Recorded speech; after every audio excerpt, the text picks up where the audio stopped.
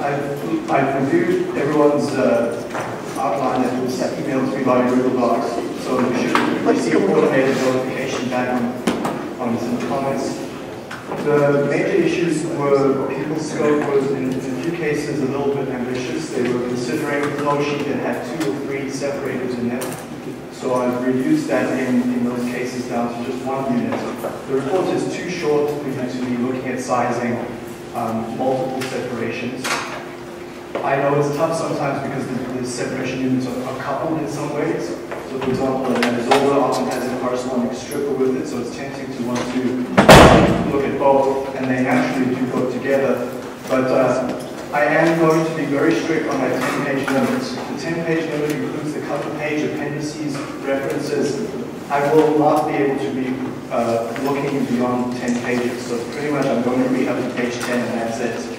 Uh, the reason is because I'm receiving 40 reports times 10 pages.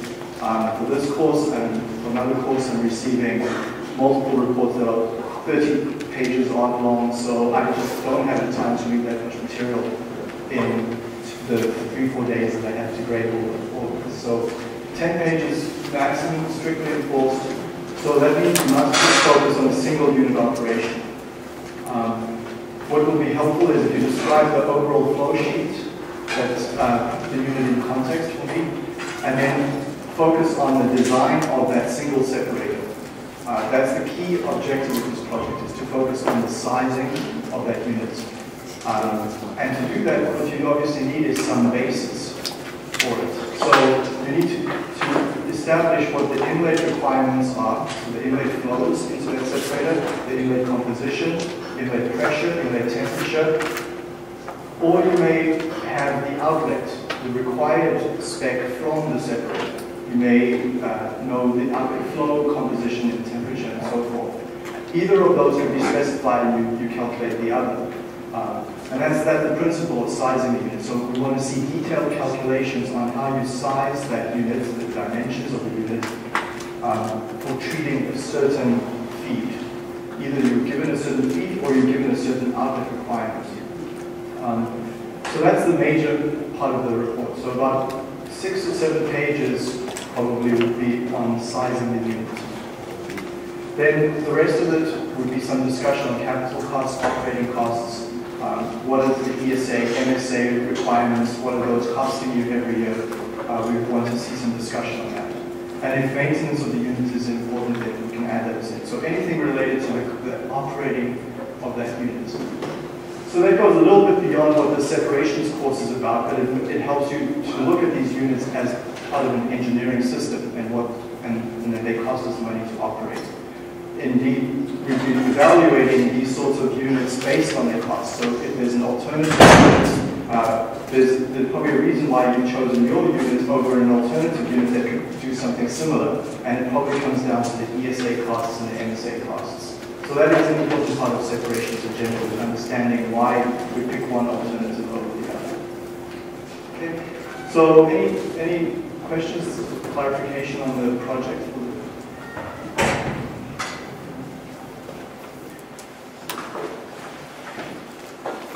Um, there are just some administrative issues regarding timing. Uh, there's been a number of requests to move things around based on other courses, I guess, are, are getting pretty busy with competing assignments and tests and so on. So what I've done is uh, assignment four, which was due today in class, so today it was due, um, it's now being moved to next week, Tuesday. So we've got a few extra days there for assignment four. The project report, which was then due on Friday the 9th, then has been cascaded over uh, down to the following week, just to bump that along, to give you a bit of extra time in between there, so you've got a, a weekend as well and a few days extra. Um, assignment 5, which was then due on the 16th, has then been bumped over to a week. But you now need, unfortunately, this is what I wanted to avoid, but with cascading this down, we, we get into a clash. Here we've got the project presentations. So your two, three minute presentation from your report that you have to make to the class is now going to be happening the same week as you're working on your assignment 5. So just be careful of time management then. But there is a fixed constraint that I cannot move, and as the 30th of November take-home exam is due that day. I cannot move it uh, further because the university does not allow me to have any material due during that week prior to exams. So the 30th of November is not a date that I can fix, so we can't cascade assignment 5 further down and, and um, you just won't have time to work on that and take the. So, so just be aware of those uh, four key uh, deadlines regarding this course coming up this month for your time management. Okay. So let's just quick recap last class. Um, just go back to slide number two here in the notes. We were looking at cascading mixer settlers. So the first mixer settler is, we, we, you should be very good at, at, at understanding this construction over here. We take our feed F and we combine it with the solvent S, usually it's a pure solvent coming in with no solute concentration. So solute concentration is zero with some solute concentration in the feed. Combine it in a mixer and allow it to settle. That mixture M is then given by the lever rule at that where that location is. And that point is defined based on the relative amounts of solvent and feed being, uh, being combined here. Once that system is allowed to equilibrate in the, in the settler, we will settle along the tie line or parallel to or interpolated to tie lines here. So we get an extract concentration coming out in stream E1 and a raffinate concentration coming out in R1. So this is uh, something that, that we're now, you did this in the, in the classes as exercise, so we, we come along there, we find our mixture points, and then here in green, I'll draw where we equilibrate along that tie line. So wherever the tie line is closest to it, we will then get an extract E1 and a raffinate R1. Now, that raffinate has some solutes in it still, and can actually a fairly substantial amount that's remaining in the raffinate stream. So we wish to then contact it again with another in another round. So let's draw that one in blue this time. We'll then send that on to the second mixer unit. So R1 then becomes the feed into the next unit. And we contact it with fresh solvent. And we don't have to use the same amount of solvent as we did the previous time. We're free to use a different amount of solvent. And when we contact it over there, we're going to get a second extract stream, E2, and a second raffinate stream, R2. So we'll do this in, in, uh, in the next assignment. Um, you'll have an exercise with this. So let's take R1 now is become our feed. So the construction is identical to before. We don't do anything different. We just simply follow the same principle we followed earlier on on the second unit. So if we come across here, we're contacting pure solvent with raffinate R1. So this time my line goes along over there. I'm, I'm working my second unit. And then the point M2, so here originally was M1. Point M2 depends on the relative amounts of R1 and S that are being contacted. So R1 is not equal to F. The amount coming out in R1 is not the same as coming in in the feed. It's a different amount. So we, and S here may be a different amount to the original S we used in the first unit.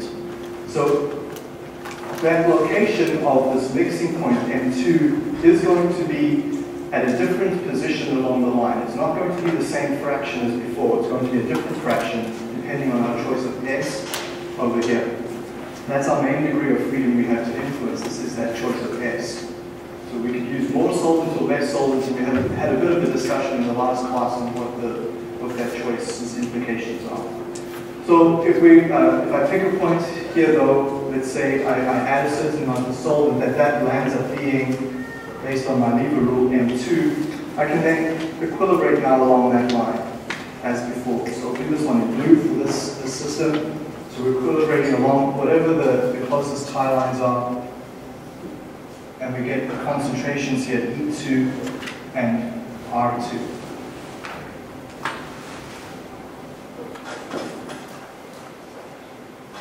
And then I can go and repeat that construction for a third time and a fourth time, as many times as I need until I, until I obtain an amount of solute remaining in this raffinate stream that I'm comfortable with, or that I'm allowed. It might be that I'm sending that raffinate stream to wastewater municipal treatments and there may be a limit on what the solute concentration could be. Um, it may be that the amount of solute I wish to extract has tremendous value for me, so I really want to make sure I extract in these E streams, E1, E2, E3, and so on, I want to make sure that I extract and recover all that valuable solute. So either way, my choice of how many mixer settlers I use is dependent maybe on environmental constraints over here, or it might be on economic constraints that I wish to recover that solute in the, in the E streams. So one way we can quantify that, uh, so this is the new, the new slides in today's class, Let's take, um, let's take a look at this example here. If we consider we had three units, so three mixer settlers in series sending the raffinate on from, from the first stream to the second unit, the raffinate from the second unit is sent to the third unit. I can define what's called an overall recovery of solute. So the overall amount of solute that I've recovered is 1 minus the the solute concentration, or solute amount, I should say, in the raffinate. So X Rn is the mass fraction of solute in stream Rn, my final settler. So in this case, N is 3. So what is the mass fraction of solute leaving here multiplied by the flow rate of that stream? So that's going to give me the kilograms of solute that I'm essentially throwing away in my raffinate stream divided by the kilograms of solute that I started off with. So XF, F, capital F, that's going to give me the kilograms of solute coming in in my feed. The new numerator is giving me the kilograms of solute leaving in my raffinate, essentially what I'm throwing away. That ratio should ideally be small. So this part over here, that ratio should be a small number, and then 1 minus that gives me my overall recovery. The other way you can, you can see this if you write it out a little bit more with the mathematics is you can write out xf times capital F minus x in your final stream, xrn, times the raffinate flow rate divided by xf. Simply expand that term for recovery and so you can see that mass of solute in minus out divided by n is essentially what it comes down to. Solute mass in minus solute mass out, and then ratio that to get a percentage recovery. So ideally that number should be very, very high. You want a, a very high recovery. Remember we said at the start of this section, liquid-liquid extraction, our two objectives are to maximize recovery and to maximize the concentration. What's concentration then of the extract? Well, in this case, we've got multiple extract streams leaving. We've got E1, E2, E3. So we simply combine our extract streams. By that I mean, we take these, these streams E1, E2, and we're going to combine them and form a single extract stream. I'm asking then what is the concentration of the solute in that combined stream? and simply the summation of the mass flows multiplied by the mass fraction in each stream divided by the total mass flow. So that defines my concentration,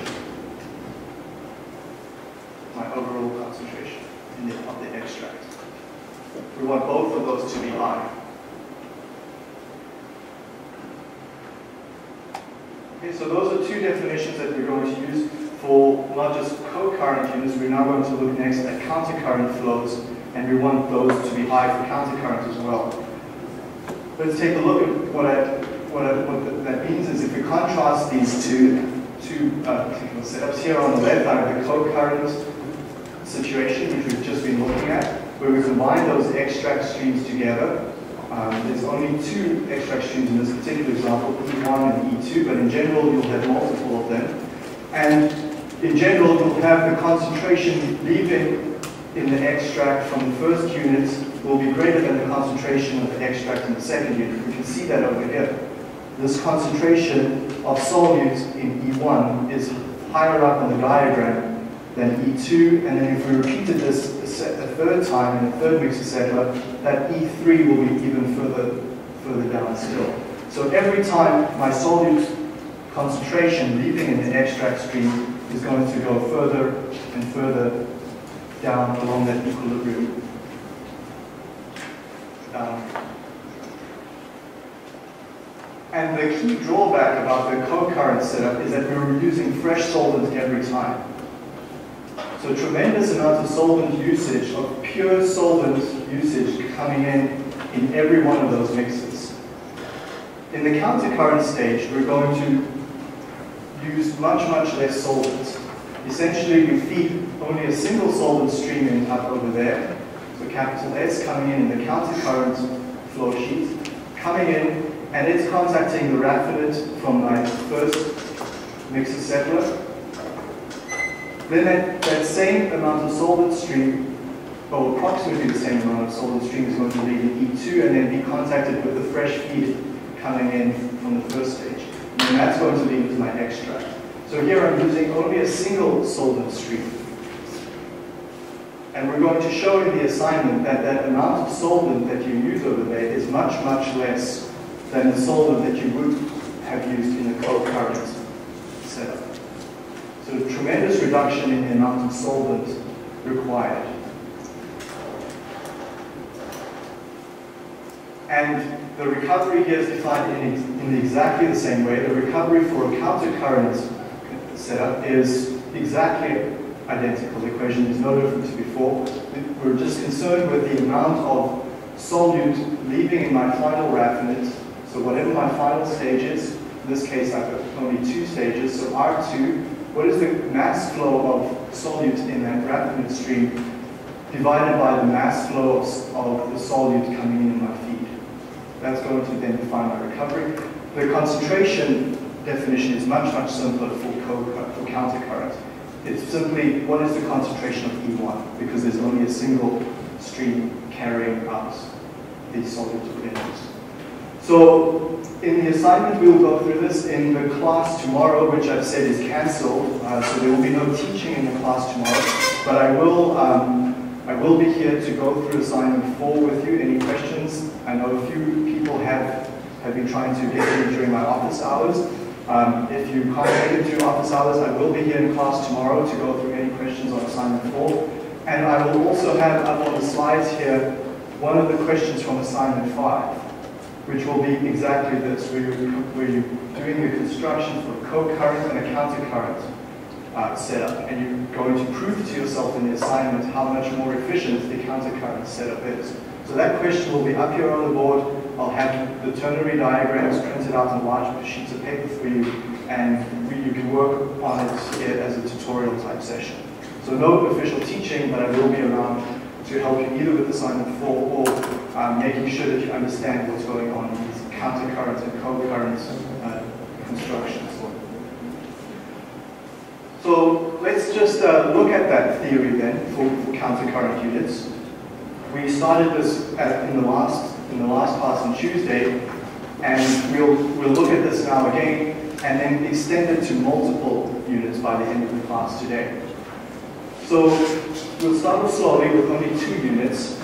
As I've said there just before, we've got our solvent coming in, capital S, and it's being contacted with a raffinate stream here, R1. Now, R2, let's just take a look what's leaving here. R2 should have very low solute concentration. We should have very little solute remaining in our raffinate stream here. So R1 has some intermediate amount of solute concentration, and then F is our highest, uh, or has a high solute concentration coming in. So this intermediate strength of solute is then being contacted with fresh solvent. That solvent should pick up the solute and take it out in extract 2. So just in terms of the numbering, the extract and the raffinate are numbered based on the stage that they're leaving. So in stage 2, the extract is called E2 and the raffinate is called R2. In stage one, the raffinate is R1 and the extract is E1. So our, so just bear that terminology in mind. So here we've got, coming in now to our first stage, we've got intermediate amount of solutes loaded up in that extract stream. It's being contacted with fresh feed. That extract stream will pick up even further still solute and then leave then as capital E1. So that's, this is not something that's unfamiliar to you. You've seen this before in your adsorption and distillation sections of, of the previous mass transfer course. So what we're going to see now, however, is how to use the ternary diagrams to find what those concentrations in the streams are. That's going to be new. So what we do is we, it seems a little bit unusual, but we're going to construct this capital P value, which is called a pinch point, or an operating point.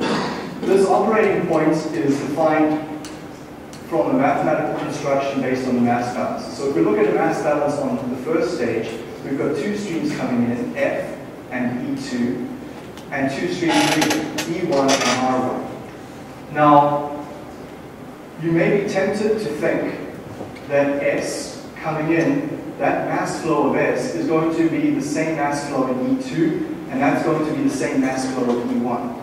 That is not true. Those mass flows are different.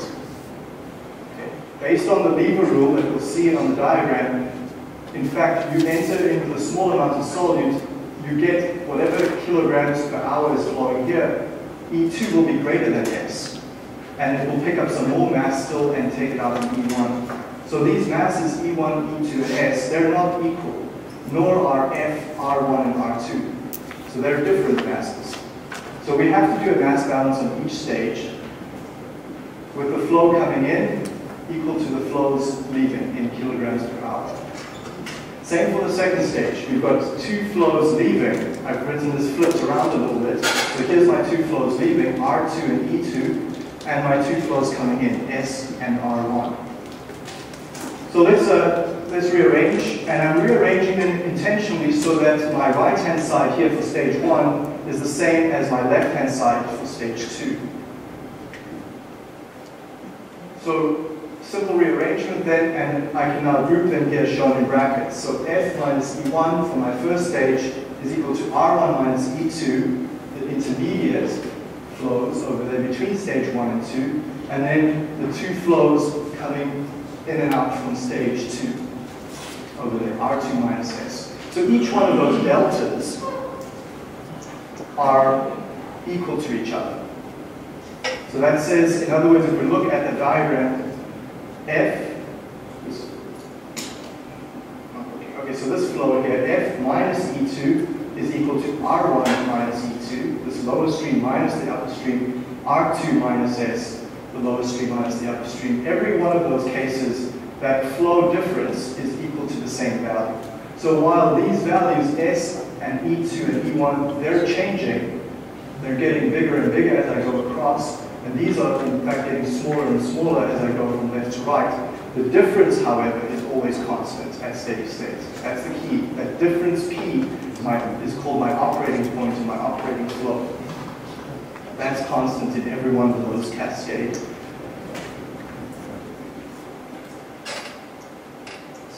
So if I rearrange each one of those deltas now, let's just take a look, for example, at the first one. I have F minus E1 is equal to P. Rearrange that equation and write as F plus P is equal to E1. So that's the first rearrangement. The second and the third one follow the same approach. Notice here that, and I've written it intentionally this way, that the P's are, are stacked above each other. Essentially, what we're seeing here is that that P flow, that it is a flow of sorts. It's actually defined as a difference between the flows, but it could be uh, could be uh, considered as a flow itself. If we follow the principle of the mass balance in a ternary diagram and the lever rule, we can see then that if we apply the lever rule that we normally say if we mix one stream with another, so for example, if I mix S with F, I'm going to get a mixture M1. So if I would write then S plus F is equal to M1, I know that those three points are, are lying on, on, on a straight line connected with each other. So one flow, one amount of mass plus another amount of mass gets me my, another, another point on that line. Same idea here. F plus P is going to equal E1. That indicates that this point P must lie on a line that connects F and E1. That same point P is on a line, a different line, that connects R1 and E2. And P is also a point on a line that connects R2 and S. So every time, if I draw these three lines, they must pass through a common point P. So where is this point P? That's, that's going to be our, uh, our, our goal here, is to locate where that P is, because it's a common operating point for all my stages. You notice here how P comes up as the difference between F and E1, the difference between R1 and E2, the difference between R2 and S.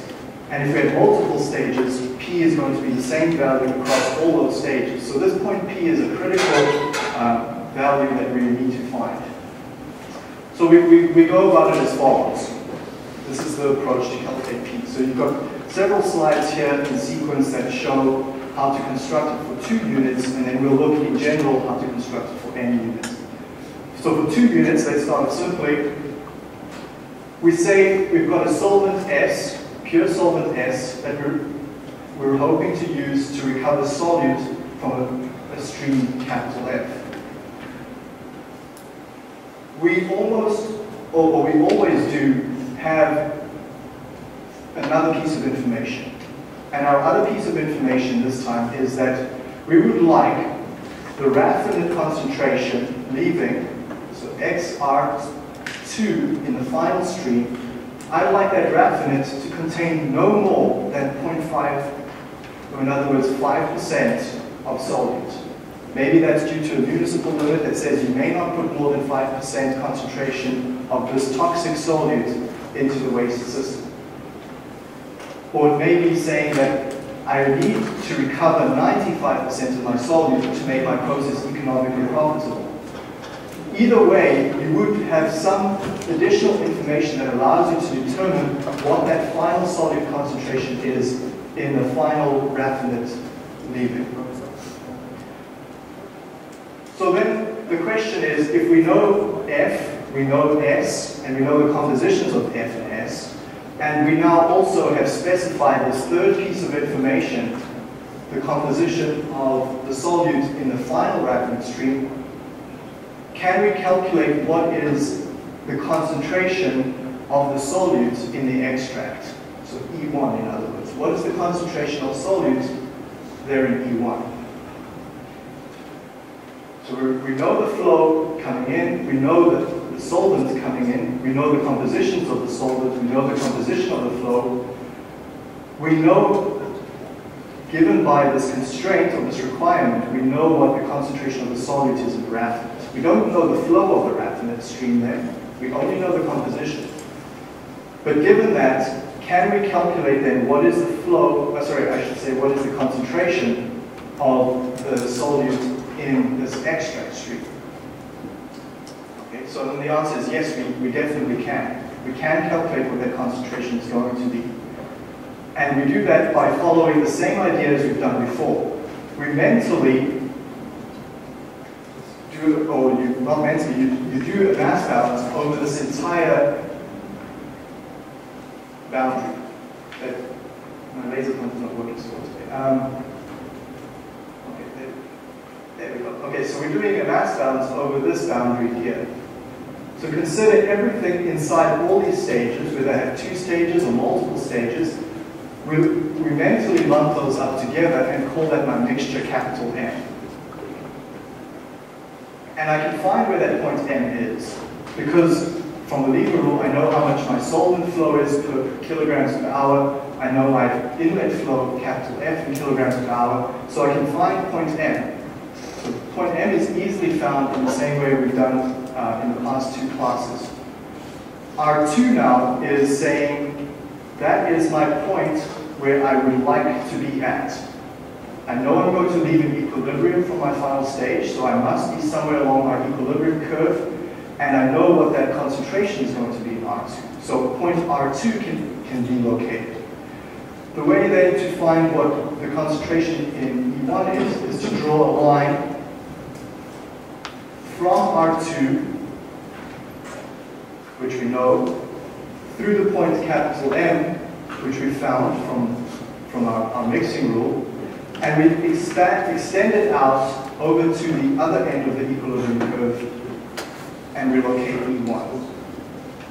So that simply comes from mass balance overall, and overall mass balance over all the, all the stages, lumping that into one conceptual mixture M.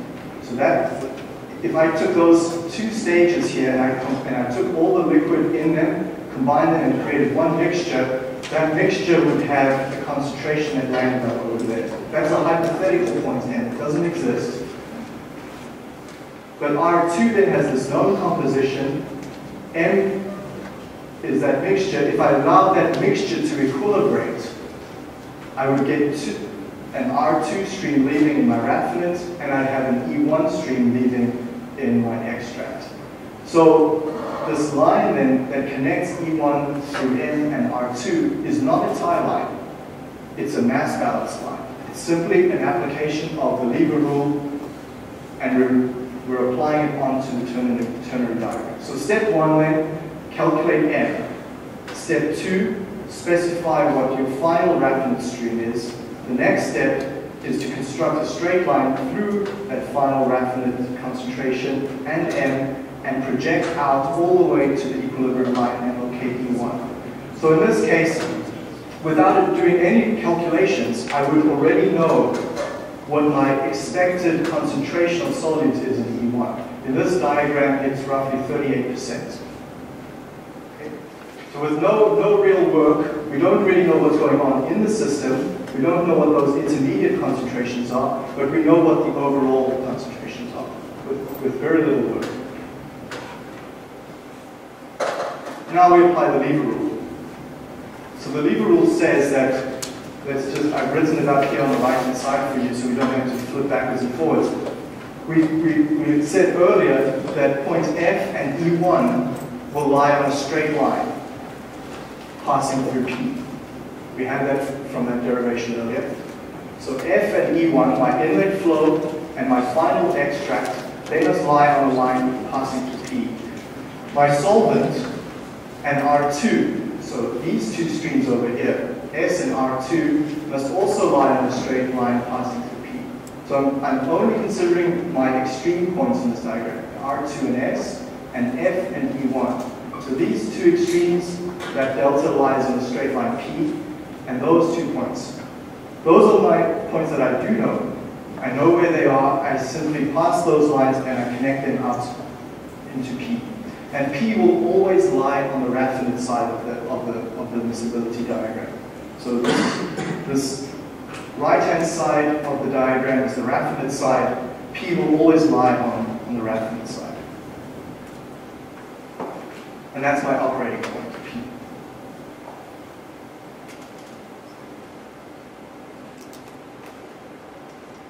Is that, how, how, how P is found, is that clear? No? no doubts on that. So now let's do some mental, mental adjustments. If we take this point M, okay, so M is what determines where M's location is. Where along the line is M? the ratio of F to S. Of F S. So M is defined by how much flow I, I send to the system and S, my solvent flow. So let's fix my, my flow F. Let's fix capital F. we we that's usually the case. We've got a fixed feed F that we need to treat.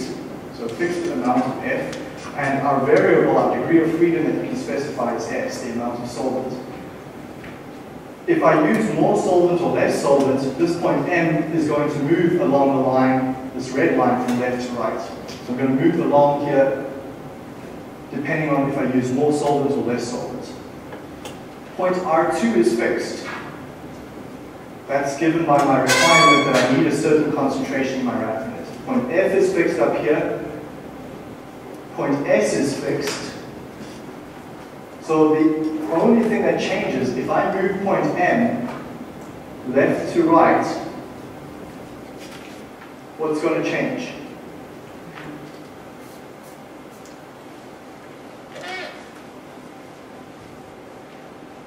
Think of it like a pair of scissors. So you're hinging on that point M. Point P is going to change. Point P is definitely going to move. F is fixed, R2 is fixed. I'm simply going to move this point M left and right along that red line. And point E1 then is going to come and shift up and down like that. So this bottom green line connecting S through R2, that's fixed. S and R2 are fixed. This top line, green, is coming, coming down like that. As I move that point M, it's going to open and close like that. And essentially, if I keep moving that top green line that's currently angled down like this, if I keep moving it down, make it, I get to a point where that top green line is parallel to the bottom green line. At the extreme, I can make those two green lines parallel to each other, and I have then no operating point. And then you essentially you cannot run that system. That system will not work because there's no operating point. So that E1 then defines for me what my minimal concentration is that I'll, I'll see out in, in the extract stream. Another way of saying that is I will always have a concentration in my extract stream that exceeds E1. And there may be a simple explanation for those of you that don't kind of see this geometrical juggling in your head so easily, is take this green line S that connects R2. So here start off with S and connect it through to R2. Take that green line and simply move it up parallel until you pass through point F. So F is where my feed that's fixed. So move that this green line up parallel until you reach F, and then where that point E1 lands, that is your minimal amount that you'll, you'll see in the extract. Okay, so you'll always have an, an outflow in your extract that exceeds that E1 for, for a system that works. Okay, so in this case, that, that, that happens because R2 is fixed. We specify R2. Okay, that flow in the raffinate, sorry, the concentration in the raffinate, I've specified at, at 5% in this case. Okay, so that's just something to bear in mind, and we'll, we'll uh, look at that actually in the assignment of it. So what I want to point out then is, for that minimum E1, for that minimum concentration, I can then find that red open circle point. Okay, I can find that point because it's on the line, that's the original red line that connects S to F. As I move that point, this was my original point M over here, as I move it to the left, so that's where I started, and then I moved it to the left. As I move it to the left, that blue line comes down, the green line comes parallel, and that point with the open circle, that can that will find for me my maximum solvent flow rate. This is very interesting. If I put a solvent flow rate into the system that is greater than this, I cannot operate that system. That's really interesting because it's normal that it's, or we expect a, a minimum solvent flow rate, but this is telling me that if I exceed the solvent flow rate, I'm not able to operate that system. And in fact, what it, the implication is that if you exceed that solvent flow rate, you're just simply flushing out the system, you're diluting it. You're diluting it. You can't find a system that will equilibrate in a mixer-settler type manner if you have solvent flows greater than this. So this sets an upper bound, and you'll find for countercurrent units you'll always have lower solvent flows than this. And you'll find when you prove this to yourself in the assignment that that solvent flow will be much, much lower than if you had used co-current setup. So the counter-current setup is extremely efficient in terms of solvent usage. And that's great because solvents are usually one of our greatest costs in operating systems. Yes, Carl? Uh, can this system still exist even though there's no point P? Parallel contact intersect. Yeah, so if you operated just below that solvent flow, you would have essentially many, many stages to get to, to where you want to be. So is that concentration, like that E in concentration get actually realizable, or is it Yes. technically? It's, it's, it's, you're at the bounds of realizing that.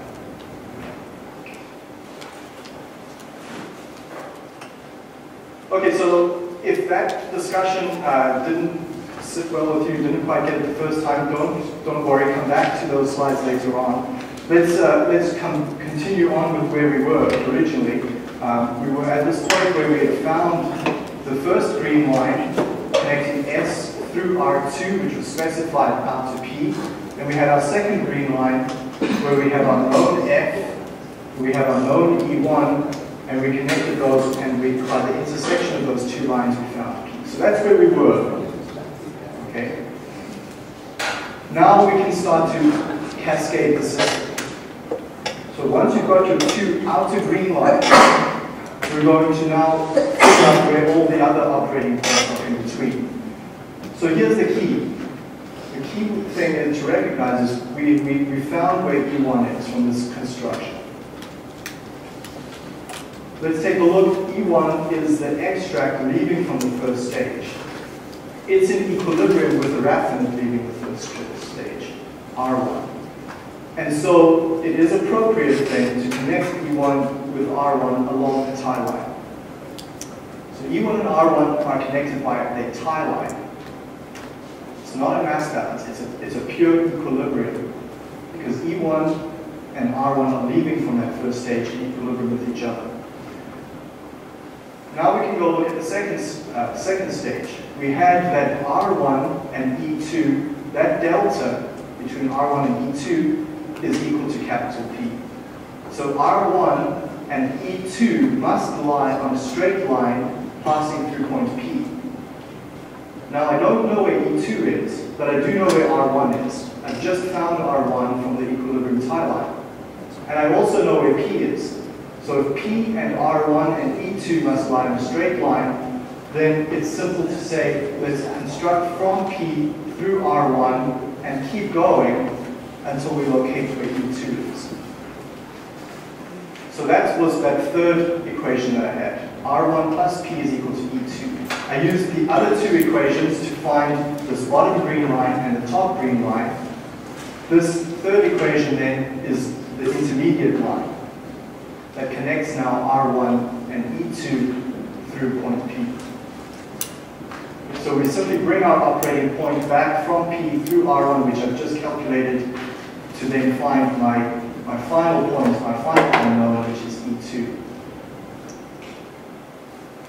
Now we can also say, well, hang on. You, you, earlier you said E1 and R1 leave in equilibrium with each other. Well, what about E2 and R2? They should also be in with each other, leaving from the second stage. Absolutely they are. So if I bring a tie line from E2 and I follow the closest tie line, I should land up somewhere over there. And I may overshoot or undershoot R2 slightly. In this case, because I've kind of cleverly constructed the diagram, I, I land up pretty much on, on the point. Uh, because I did that just to illustrate this setup for you. Um, E2 and R2 on a tie line, you'll end up pretty close to where R2 originally was. In practice, we don't know where that final stage exactly is. So essentially, we keep zigzagging across until we just overshoot our specification. Remember, R2 was specified. We had to be at 5%. But if I zigzag across and I get, say, 7%, well, that's not good enough. I need to do one more iteration and come back, and I may be now at 4% the next time around. But that's, that's okay. I'd, I'd rather overshoot R2 than undershoot. So the last, the last unit in a cascade is always a special case because we've got, you've got the point that's known, but you also have to make sure that you add an additional stage just to be sure that you actually achieve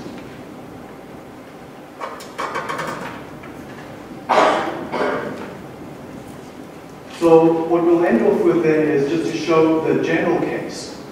And then we'll have a chance to do this in class tomorrow with a question.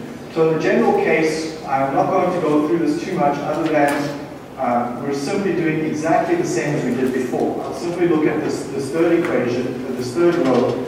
Um, it's simply saying the flow differences between every one of my stages is equal to the same value. So the flow difference between F and E1, the flow difference between R1 and E2, the flow difference between R2 and E3, or in the nth case, that flow difference leaving and coming into my nth stage is the same as the flow difference leaving and entering the nth stage.